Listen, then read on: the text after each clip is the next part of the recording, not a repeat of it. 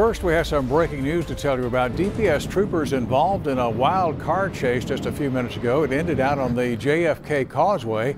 Troopers tell us they were attempting to pull over a vehicle for a broken taillight on SPID, but the driver refused to stop. So eventually the troopers shot out the tires in that vehicle and it came to a stop just off the causeway.